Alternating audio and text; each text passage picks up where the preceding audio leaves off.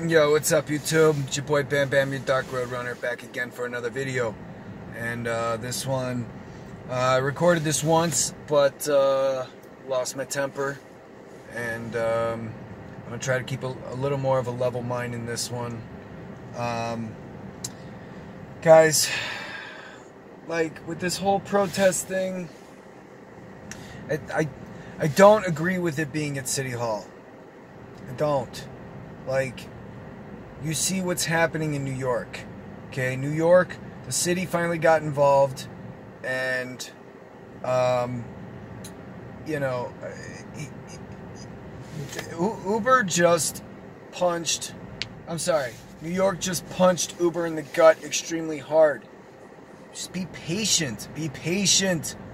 Like, Uber is going to realize what a clusterfuck New York is going to be now and um, you know it's just the TNLC plate is too grand, and the only way you can get it now is if you have a wheelchair accessible vehicle. Do you have a wheelchair accessible vehicle? I don't. I use my personal vehicle. I don't want the city to get involved because if they're going to put any kind of cap on it, this is how they're going to do it. Um, excuse me. I just ate. It was delicious. Some tacos. Um, tell you what I do agree with. Like I said, there are things that we can we can agree on. Um, and that is that um, the pay rate increase. I, I do agree with that. You know. Um, and um, so just watching a clusterfuck of cars right here, trying to get out of the lot. Um, the pay rate increase, right? I say at least a dollar a mile unless you're going to give us benefits. Offer $2 a mile. I pay 4 cents for Aon insurance a mile. And I securely know that if something goes wrong with my car, you know, I I'm covered. You know, I, if I'm out of a job, I can, you know, I still have something to, to fall back on. You know, if it's something like $1.50, $2 a mile, which is, like I said in the Uber Works video, um, you know, if you if Uber came to uh, you know health insurance company and said, "Hey, we have all these drivers. You know, what would you charge? Five, ten cents a mile for health coverage, right?" Um, I would sign up. I would do it.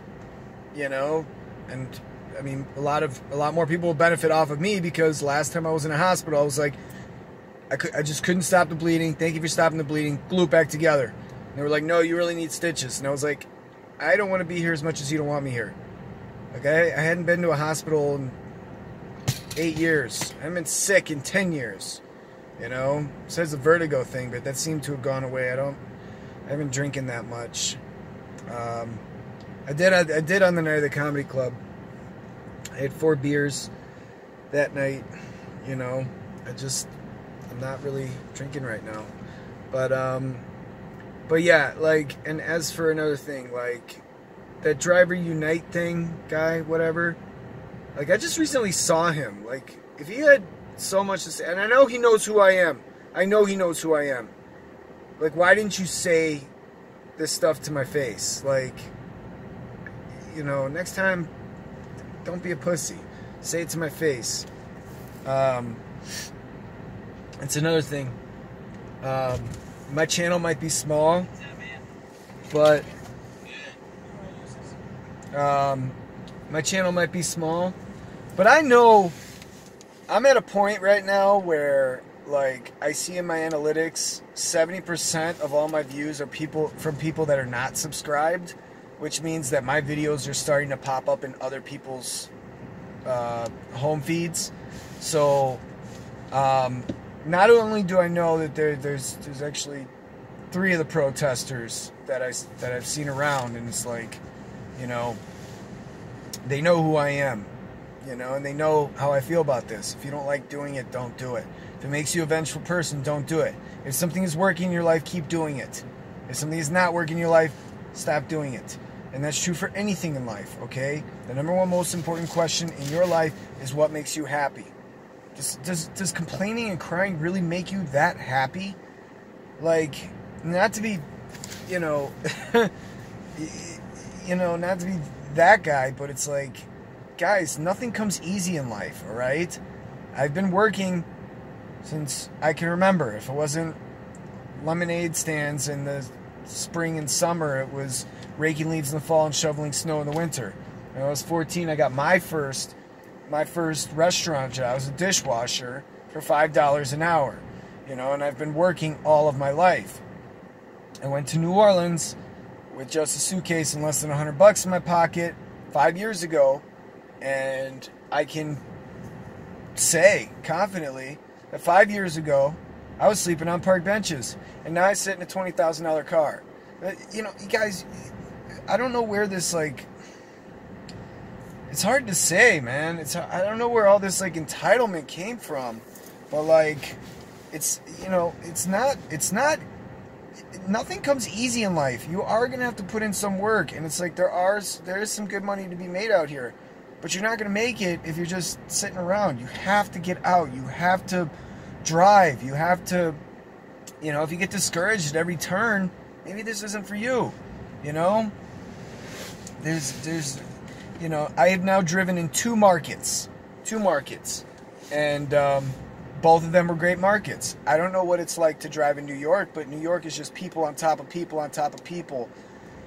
They needed some regulation, okay? And I also think that Florida needs some regulation too. But Chicago does not. It does not. This is a great market, you know. It's uh it's it's definitely there's plenty of room for everyone here. And um, if you're gonna if you're gonna demonstrate, if you're gonna protest, you know, for the mileage rate, do take your 900 people and go to the Uber hub. Don't do it at City Hall. Don't do it at City Hall, because when you get the city involved, I just say be patient. Look at what's happening in New York. New York just punched Uber in the gut. And already you guys are like, yeah, we should do it too. And it's like, but there's no need to here. This is not a bad market. There is good money to be made out here. So, I mean, it's just, just pay rate, benefits, stop price gouging the passengers. Do we need a pay cap? No. No, we don't. Because nothing ever comes easy these days. Nothing ever comes easy in life. And yes, nice, more money would be nice. I agree. I agree. But you can still make some good money doing this. And if, if the city gets involved and fucks around with the regulations. I mean, shit, how many things do I have in my windows right now? Like, I have a chauffeur's license, a Lyft Amp, a camera, you know, Uber Lyft sticker, transponder, a Via sticker. I've got the same in the back and a TNP sticker. It's like, how, uh, inspection sticker, oil change sticker. Like, how many things do you want in our windows? Like, I mean, that's small compared to like, but like, how many more certifications like do we need, really? You know?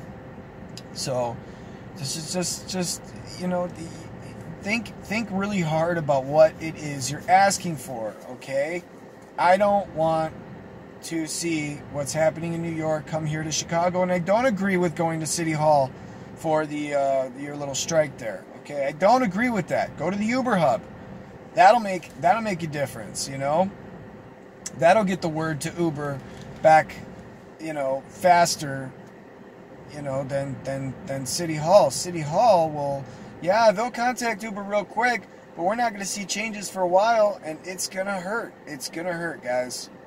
Don't don't do it at City Hall. Trust me, trust me. All the things that will come out of this are just it's just gonna make things worse, and it's gonna make it worse for the riders too, because no one's gonna want to drive. The price of the the T, TLC plate is gonna skyrocket all these rich people are going to buy them out, and the next thing you know, we're renting cars from people that are richer than us. It's going to screw, and then nobody's going to want to drive. Kiss your referral code goodbye. And, um, you know, the, the city's going to be in such a massive flat surge, so there's still going to be price gouging the passengers.